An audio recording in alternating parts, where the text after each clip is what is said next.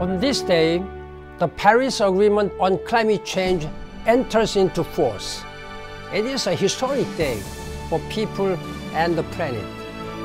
Every country has agreed to act to limit global temperature rise.